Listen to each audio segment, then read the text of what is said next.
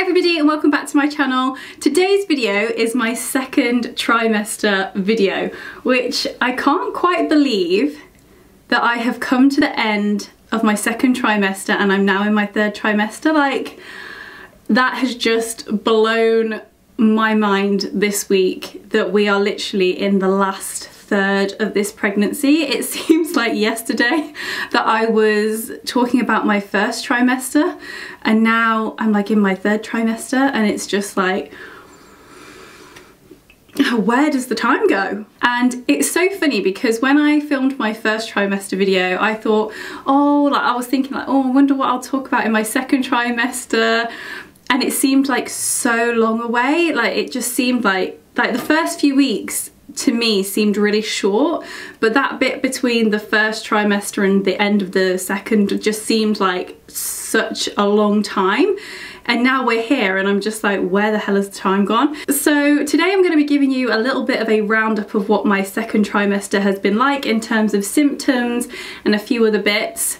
I feel it's so funny because I think back to my first trimester video and I'll link it down below if you haven't seen it I was really, I wouldn't say I wasn't in a good place, but I really wasn't feeling great at the time of filming that video because I was literally in the midst of the most horrendous sickness that I've ever like experienced in my life. Although I was coming out of it, it was still like looking back now, it was still driving my life quite a lot. So sitting here today, I feel so much better than I did in that first video, um, which I'm so grateful for because had it carried on to the extent of what I was feeling in that video, oh God, it would have just been absolutely horrendous. So um, I have written a few notes on my phone because there was a few things which I wanted to mention that uh, were either have either changed since my first trimester or are slightly different or whatever. So I just wanted to talk about them. So the first thing I wanted to talk about was the sickness. So as I mentioned there, I feel so much better now than I did in my first trimester. Like that first trimester is hard. Like, oh my God, it's so, like for me anyway, it was so tough. And I would say that the sickness for me, it's not completely gone, but it's it's only there now and again. So I've still had a few weeks where I have been sick after my dinner or I've been sick in the morning or I felt nauseous, but it's not like it's not taken over my life the way that it did in that first trimester. But I did have sickness that went, you know, they say, I've heard loads of people say that once you get into the second trimester, like the sickness goes and you feel amazing. That didn't happen for me. So I had quite a few weeks of still feeling not great. And I think it probably wasn't until I was well into like 22, 23, 24 weeks that I really started feeling a little bit better. But now I okay so now today I'm 28 weeks. So now I'm 28 weeks and I do still get a little bit sickness. Like last week I was sick twice um, but it's nowhere near as bad as what it was. So if any of you are in your first trimester like hang in there because it does I promise you it does get better. Um, I do still have bouts of nausea so if I haven't eaten and things like that but it's much more I know now that I'm not always, it's not always going to end up in me being sick. So I would just say that the biggest thing for this trimester has been finally like really starting to see an improvement on that sickness. Even though it's not completely, completely gone, it is a hundred times better than it was and I can actually function and live a normal life now and I can eat. In terms of food aversions because I think that was another thing which I mentioned in my last video I can eat pretty much anything I want now. I still have to be in the mood for it but whereas before I was really restricted on like I only wanted to eat white bread or like carby things now I can pretty much I think there's only a few things where I think, ooh, don't want to eat that. And there's definitely things which I want to have more of.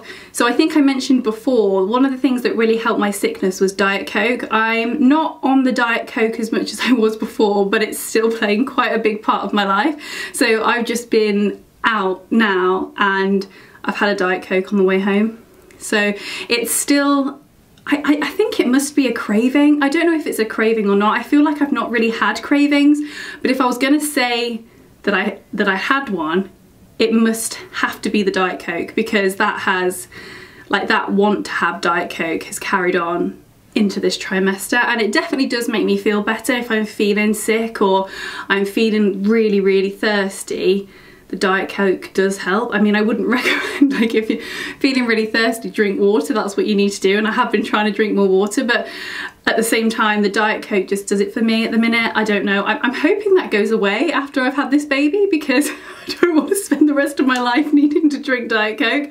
Um, but yeah, so the Diet Coke has still been a big part of sort of my routine, I guess you could say. Or like, now I can go without it, but I know that I really want it or if I'm having like an off day with my tummy feeling sicky I know that a Diet Coke will work just kind of take the edge off. The other thing which I noticed during the second trimester which started to happen I would guess from the middle onwards from the second trimester was a little bit of heartburn. Now that over the last couple of weeks has progressively got, I'm not going to say it's really bad because it's not horrendous, but I have noticed that in the last few weeks I've been getting more and more heartburn and it's not something I'd really experienced that much of before. Um, it's actually quite a weird feeling and it's not actually that very nice, but it's not as bad as the sickness. So for me, the heartburn is like, I am happy to have the heartburn as long as I'm not throwing up.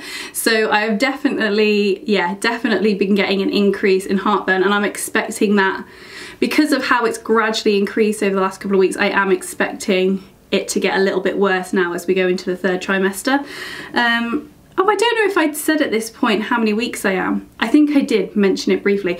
Um, in case I haven't mentioned it, I'm now 28 weeks as I film this video. Um, you probably won't see it until a couple of weeks or a week or so after. Um, so yeah, that's how far along I am. So I'm just looking at the notes on my phone. So another thing which I've noticed, and poor, poor Smurf probably has noticed as well, um, I have had the most well, not the most. I have definitely had some mood swings during the later half of this trimester. I don't know whether that's like something which happens during the second trimester.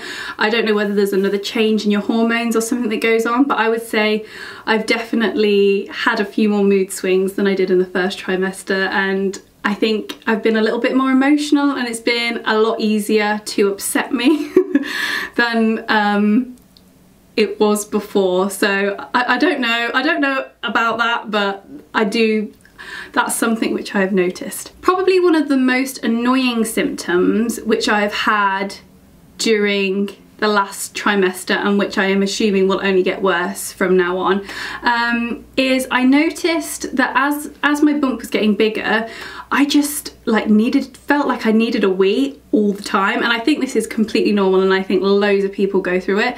Um, I now have to wee a couple of times throughout the night like I can't just like wait I, I just can't.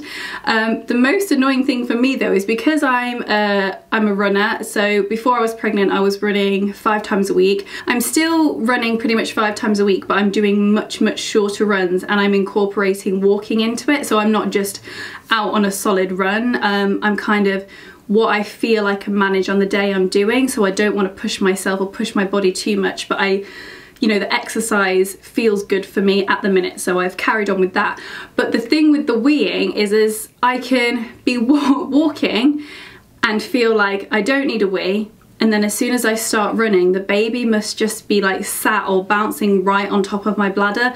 So as soon as I start that running motion I instantly feel like I have to go for a wee which has meant that I've had to cut my like sections of running on my when I'm on a run much shorter because it just feels like oh god I'm gonna wet myself. And then I get home try to go for a wee and there's no wee there. So that's probably been the most annoying symptom so far. And I think I'm at a stage now where I'm probably gonna have to really cut back the running a little bit more and maybe go on to swimming or something like that because I think this feeling with the weeing is probably only going to get worse. So I'm at that point at the minute where I'm like oh, I don't want to give up the running because it makes me feel really good and it puts me in a better mood and I just feel better about myself once I've been for a run. So I don't want to stop and at the minute I actually still feel like I'm able to run without really too much of a problem. It's just this feeling of needing a wee like straight away. Um, so I would say that's really been the last maybe the last month it's probably got worse as the bumps got bigger but it's definitely been there since sort of quite early on in the second trimester and it's just got to a point now where I think oh you know it might be time to knock the running on the head soon which makes me sad because it's been a part of my life for so long but it just gives me something to look forward to once the baby's here isn't it? And I'm ready to go back to exercise then I can go back to my running. Oh another symptom and I don't know if this is really a symptom or if it's just part of pregnancy but I've noticed that all all my life I've always like slept on my side. Sometimes I'll sleep on my back. I've always slept on my side but during the second trimester all I've wanted to do is sleep on my back. Now is that a thing? Is it like you get to a certain size in your pregnancy and all of a sudden all you want to do is sleep on your back because it's the most comfy place? And I know that they say like not to sleep on your back so I actively try not to sleep on my back, but I catch myself asleep on my back and then have to put myself back on my side.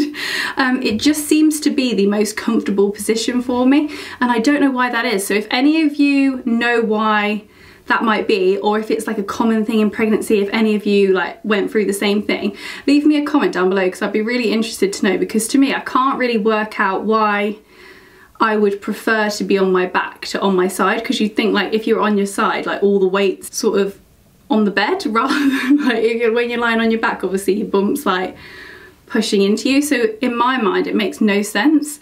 Um, so who knows why that is, but if you guys know, please leave me a, comment because I would love to know the answer. So during this trimester, I obviously had my 20 week scan, which was really lovely. It seems like a long time ago now because obviously I'm 28 weeks and I had that at 21 weeks. So it seems like we haven't actually seen the baby in so long. But um, the scan went really well and it was so lovely because obviously you can find out the sex at the scan. We have decided not to find out the sex of the baby because I think you don't get many surprises in life and I'm just really excited to like have that moment when you're like, what is it? Like, what is it? Yeah, so we both really wanted that moment where like we don't know what it is or whatever. So um, we didn't find out the sex at the scan, so we've still got that to look forward to, but everything else was really, really good. So it was quite fun actually, because when we were in the scan, she obviously had to say like, okay, look away now. So we had to, and uh, it's quite funny because I was like trying to peek, but I couldn't see anything. Um, but yeah, so that's really exciting. So that was a really nice thing that we did during the second trimester. And I'm also wondering now whether I should have like a 3D or 4D scan. I'm not sure. I think we probably will, but I'm really nervous of like accidentally seeing its bits or whatever. One of us accidentally seeing it. Um, but I don't know, watch this space. Maybe in my third trimester video, um, I'll be on here being like, yeah, we've had 3D, 4D scan, whichever, whichever it is, I don't know. Um, I don't know enough about it to be honest. So the last thing I want to mention really is we started our hypnobirthing course during this trimester because as I, I mean I'm sure like every mum in the world will and like every expecting mum will know that like as the bump grows all of a sudden you're thinking fuck like this has got to come out. And I was I mean I am still really really nervous about the birth. So we decided to do the hypnobirthing course through the Positive Birth Company. So we're halfway through that. So that's great because it's a selection of videos and you can watch them sort of at your own leisure, which has been really good because you just have a selection of videos and you watch them at your own pace. So you're not kind of restricted on when you have to watch them and it's not a class that you have to attend or anything like that. So that's been really good for us. So we've been slowly making our way through those videos.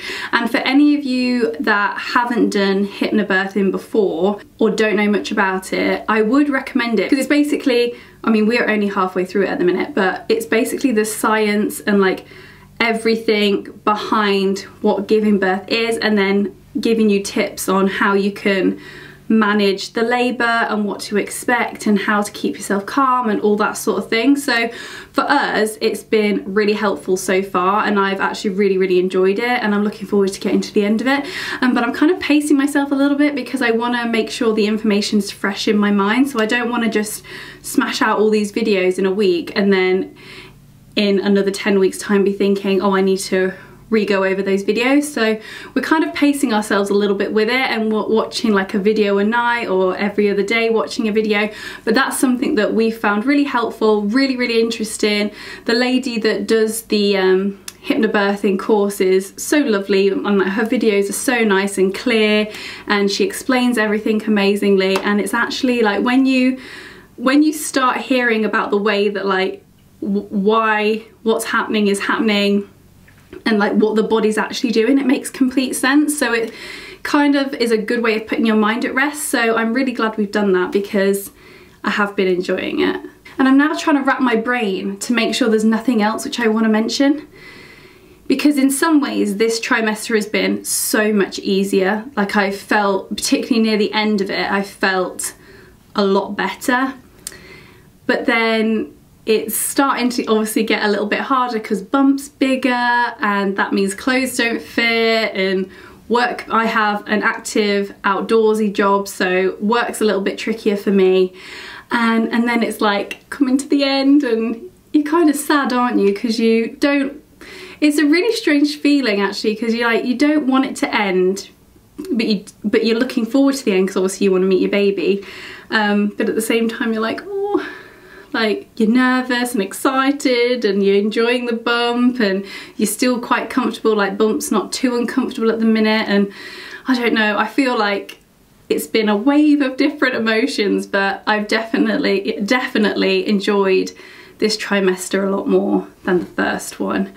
And oh god it's not that long. I haven't got that long left guys um, so I guess what I could do is I could actually show you my bump because last time obviously I didn't really have a bump to show you. I think I just showed you the ultrasounds. Um, so I'll show you what I look like at the minute. So this is 28 weeks. Isn't that mad? Look at it. It's like a proper round little baby bump. There's no hiding it now, is there? it's just so funny, like the hardest thing for me has been finding like clothes to wear, like pregnancy dressing is not easy and like this whole like bodycon dress with a shirt tied round is pretty much all that I've been wearing um, because it's the comfiest thing. But yeah, that's it. Big old baby. Isn't like the female female body just the most insane thing. Like I went to um, my midwife's appointment. Sorry this is a bit off topic but it's still baby related. I went to my midwife's appointment and it was the first time that they'd like measured my bump. And she'd actually said that like yeah your uterus is up here now. And I was thinking it's gone from like down there to up here. That's just mind-blowing, breathtaking, amazing. Like, I can't believe that I'm capable of doing this. Do you know what I mean? Like, uh, uh, I mean, I'm sure like other mums out there will probably feel the exact same, like, how? How has my body done this? This is the most amazing thing ever. So I think that's pretty much everything which I wanted to mention in my second trimester video. I feel like I've not got as much to say this time because it's been so much better um, but I hope it's been helpful and I hope you've enjoyed it and I'm really looking forward to filming my third trimester video and the big question is is will I film it before or after the baby's here I'm hoping that I will get to film it before baby arrives so I might film it a few weeks early. Um, it's not that long away. Um, but if I don't I will make sure I'll put one up. It might just be like when I've got the chance to. Um, so I hope you enjoyed this video. I hope it was helpful. And if you want to see the third trimester video, don't forget to subscribe. And uh, thank you for watching. Don't forget to give me a big thumbs up if you enjoyed it. And I will look forward to seeing you in the next video. Bye!